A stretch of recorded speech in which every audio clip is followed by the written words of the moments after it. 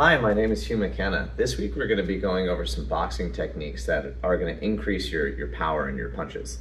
So power in punches comes from having your body behind it and having good sound mechanics and form when you punch, but it also comes from being in the proper range for your punches. Now you'll hear a lot of boxing instructors and kickboxing instructors to tell you to punch through your opponent's head in order to inflict the most damage.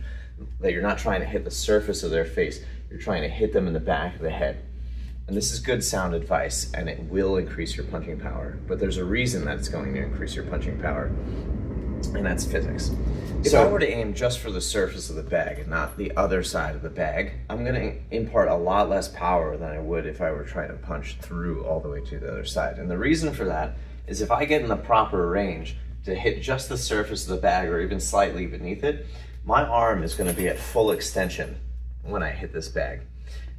So your punch accelerates as it comes out from your stance and it reaches a terminal velocity right about here where your arm is not fully locked out. You have a slight bend in your arm because your body is smart and it knows if it continues to accelerate through the entire motion, when you get to that full end range of extension here in your arm, you're gonna damage some of your ligaments and tendons here if you continue to accelerate all the way to here. So your body does what it needs to do, and from here to here, from slightly bent to fully extended, it actually decelerates your arm. So force equals mass times acceleration. You're not gonna change your mass while you're punching, okay? If you have good form and you have your whole body weight behind your punch and you're using your legs, your mass is gonna be at its peak. So the only thing that you can change is the acceleration in order to alter the amount of force that's applied, okay? So if I'm decelerating from here to here, if I hit at the end of my range right here, I'm gonna decelerate a little bit and I'm gonna inadvertently decrease the amount of force that enters my opponent. So the reason why aiming for the back of their head with your fist or your leg, whatever you're trying to hit them with, imparts more force is because if I'm trying to hit them at full extension in the back here, right?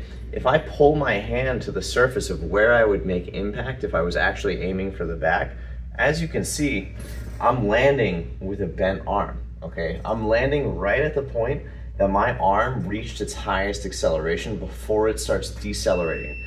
Therefore, the amount of force that I'm gonna give to my opponent is at its maximum because my mass isn't gonna change and my acceleration isn't gonna go any higher, it's only gonna go lower if I fully extend. So when they tell you that you need to punch through your opponent, you inadvertently get into the range where if you made impact on the surface, your arm is gonna be slightly bent at its maximum acceleration, okay? And you can see the, the difference when you hit the bag. So I'm gonna hit it when I'm aiming for the surface and I'm gonna hit it when I'm aiming for the back. Okay, so if I'm here, I'm aiming for the surface, that's pretty hard, it would hurt, but you might not knock your opponent out. Now, I'm gonna aim for the back right? So at full extension, I'm hitting the back here, right? Now, when I hit, you can see it, it imparts a lot more force into, into the bag, okay?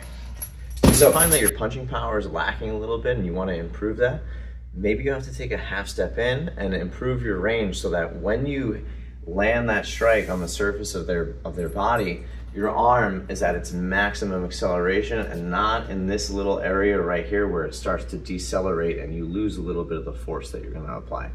So next so, time you're hitting the bag, give this one a try. You know, if you like your sparring partner, maybe not give this a try because it's gonna in increase your punching power and you, you might end up hurting them.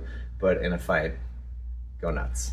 So give this technique a try. Let me know in the comments if you do end up increasing your punching power. I'd love to hear some, some feedback from you.